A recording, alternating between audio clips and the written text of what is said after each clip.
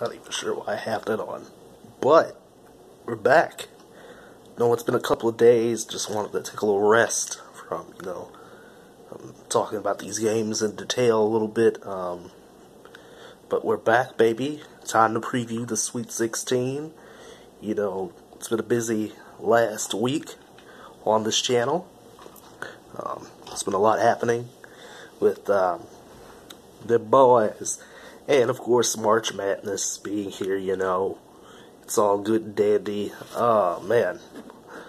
Uh, let's just get started real quick. Let's talk about these games that happened on March 24th. That was a Sunday. It's now Tuesday. Tuesday night. It's about to be Wednesday. Um, and I'm talking about these games. Um, Tennessee, you know, they move on. They beat Iowa. Um, it was not close at first, but Iowa came back. Then boom, you know, it was all it was all good and dandy from there. You know, Tennessee just had just had more firepower and stuff like that. They just had they just did enough. Uh, North Carolina they beat Washington wasn't even close. Not even gonna really talk about that. Duke and, and Tacko Fall. You know that was a really good, really interesting game. You know, just when you think UCF had Duke knocked out of the tournament, nope. Ref ball, nope. Zion, nope. Barrett. Oh, it's, it's a it's a tragedy that a team like UCF um, couldn't get to the Sweet 16 with with the, with the kind of with the kind of star power they have now. Talk about. I wonder if he's like a senior or something like that. I don't know. I haven't really looked into the man. I know there's videos about him coming out like right now. Um, you know, it's crazy. Uh, man, next we got the Buffalo Bulls taking on Tennessee, uh, not Tennessee, Texas Tech, and that game wasn't even close. Might as well. It, it, it had to happen eventually. Um, Texas Tech gave Buffalo a run for their money, and you know got them out. The, got them out. Virginia Tech taking on Liberty. Eh, it was all right for a little while, but you know Virginia Tech pulled away. Um, same thing with Virginia and Oklahoma.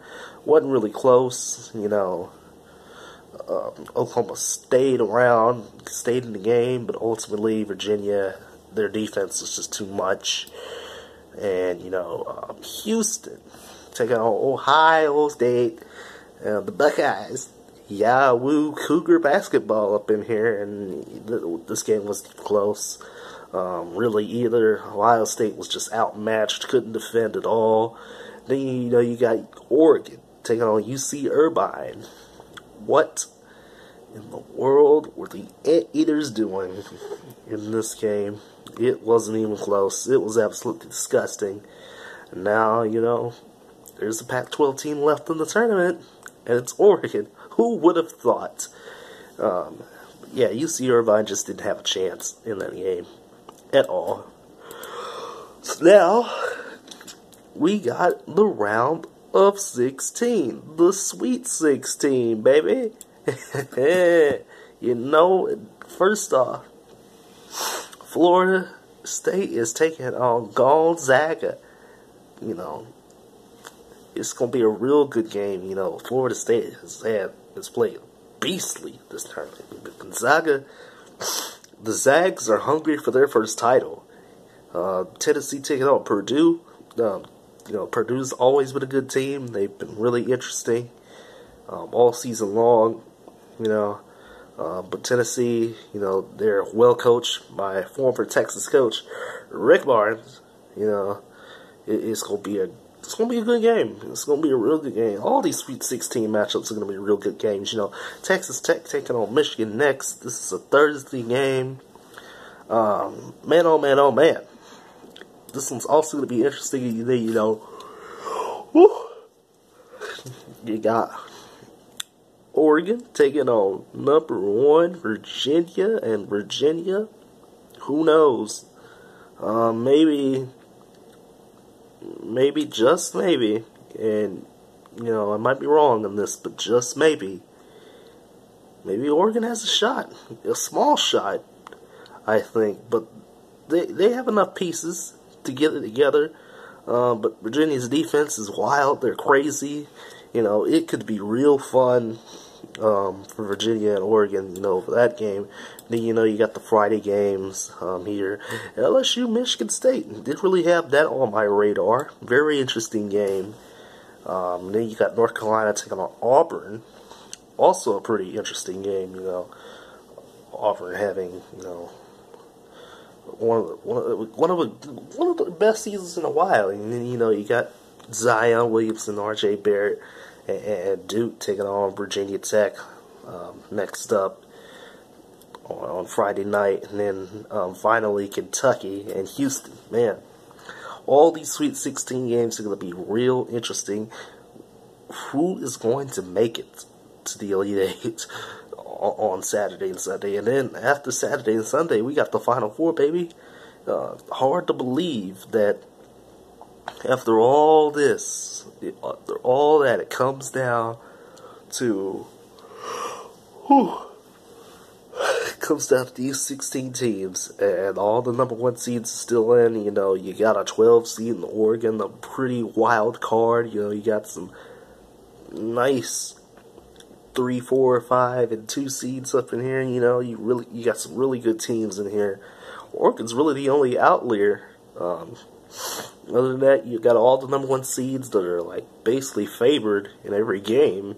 You know, now shoot, maybe the one shoot people want the number one seeds to go to the final four. That'd be that'd be insane. Um, of course, you know you got Saturday um, and Sunday, uh, and then of course, you know after that it's gonna be on to the final four after the Eight on on Saturday and Sunday, and then next Saturday, the Saturday after this Saturday, will be the final four, and then that Monday night, on you know, second Sunday eight, second Monday in April, boom, national championship, baby.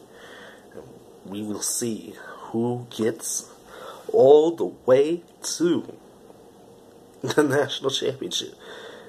So it's not going to be a repeat champion. It's not going to be Villanova three times in four years because Villanova already got knocked out. There will be a new champion. That is what it's going to be. Um, and there's a lot of strong teams that can make it with intimidating defenses, crazy offenses, and just all around good skill players that can shoot, that can defend, that can do whatever they need to do to keep going and go to the championship. That being said, everybody, uh, head on out. Got don't really have any other video plans this week um, until the Sweet 16 and Elite 8. And after that, you know, Final Four, National Championship, my reactions to all those games coming up in the next couple weeks. Um, one more thing here as I sign off. If you follow, if you should, I mean, you should follow me on Twitter. Um, um, yeah, so you should follow me. There's a tweet somewhere. I don't know where it's at now because it's being, it's gonna get lost in a glut of tweets. But it it's not here now, but it's coming back. Um, you know, we, we tried in, in January um, to get the NCAA series started, but it just didn't happen. Um, but, you know, hopefully, hopefully summer we can get the summer or, or fall we can get this bad boy on the road because I just want to get more content to you guys, um, to all those who watch this channel and everything, you know. And that's just the way to go, the way to grow um, Big Boy Variety and the brand, you know, of what we do here, talking about sports and whatnot and all this other stuff that we speak of. Um, and if you have the time as well, um, Friday morning, I'll be doing an episode of my public access television show, The Objective Slant. Um, there's a playlist in my channel that links to all the episodes that are there. There's seven of them so far. It's a monthly series that I do. Um, usually, or at least try to get people to come and get interviewed about various topics such as um, socialism, um, you know, Donald Trump, whatever, or you know, economic issues like I don't know, or or you know, just news about celebrities like R. Kelly and his situation and everything. But yeah, that being said, big boy out. See ya.